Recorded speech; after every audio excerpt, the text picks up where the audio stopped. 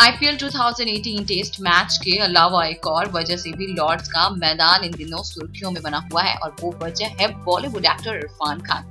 जी हाँ आईपीएल 2018 का final match Mumbai के वानखेड़े स्टेडियम में खेला गया था, लेकिन इसका लुत्फ फैंस ने इंग्लैंड के लॉर्ड्स के मैदान पर भी उठाया था। आईपीएल का क्रेज सिर्फ़ भारत तक ही सीमित नहीं, बल्कि पूरी दुनिया में आईपीएल के फैंस हैं। दरअसल, लॉर्ड्स के मैदान से इंग्लैंड, पाकिस्तान के बीच हुए पहले टेस्ट मैच से एक तस्वीर वायरल हो रही है।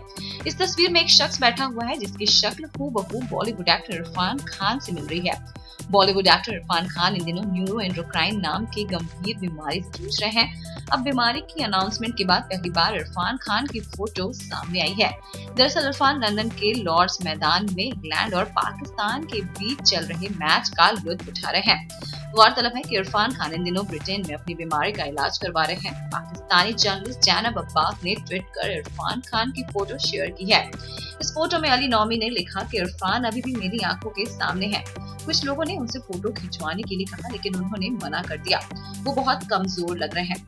हालाँकि ये इरफान ही है या कोई और, इस बात की भी अभी कोई कंफर्मेशन नहीं हुई है। वही इरफान के परिवार वालों और उनके स्पोर्ट्स पर्सन की तरफ़ से भी कोई रिएक्शन सामने नहीं आया। बॉलीवुड की अपडेट्स और गॉसिप न्यूज़ के लिए माया पूरी कट सब्सक्राइब करना ना भूलें। और हमारे अपडेट्स जानने के लिए बेल आइकन ज़रूर प्रेस करें।